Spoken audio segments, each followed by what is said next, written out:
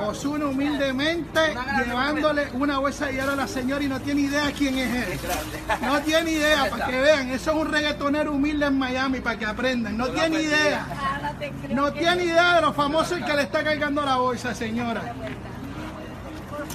¿El carro se lo vas a llevar, cabrón? Sí, porque imagínate. ¿Y si me toca a mí? Me jodo. Ah, me está jodiendo. Ah, por acá también con el aire. Espérate, espérate, que esto, papi. Y hay que llevarse Osuna la- cargando una bolsa de hielo, Miami. Gracias. Hay que llevarse algo del aire para no coger calor. Lo que es la humildad. Dios la cuide, ¿Pero qué te dije? Que tienes una cara de... te bendiga. que estés bien. Cuídate. Bien. Dele, señora, cuídese.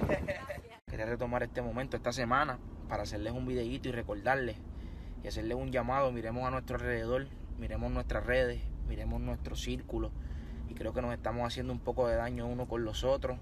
Las redes ahora se están encargando de destruir las personas, eh, de burlarlos de las personas, burlarlos de, de lo que han logrado, lo que no han logrado. Vamos a cuidarnos, vamos a reflexionar esta semana y toda la semana. Vamos a darnos cariño, vamos a respetarnos uno con los otros. Dejemos la guerra a un lado. El mundo necesita paz.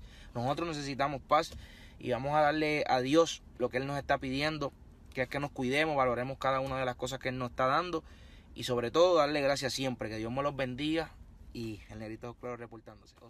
Suscríbete a este canal y activa la campanita. Para que no te pierdas los mejores contenidos y comenta para que seas saludado. Vamos.